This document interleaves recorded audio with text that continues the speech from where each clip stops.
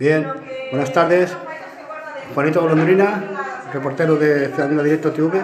Estamos en los patios de la Asociación de Vecinos de Cerdañola. Estas son las salidas de emergencia, ¿lo veis? Entonces, los niños, las niñas, pues, toda la gente que en la asociación, pues tiene que pasar por aquí, que es un patio bastante grande, que está todo muy bien y está todo muy bien señalizado, ¿lo veis? Perfecto. Y ahora nos vamos hacia la salida de emergencias.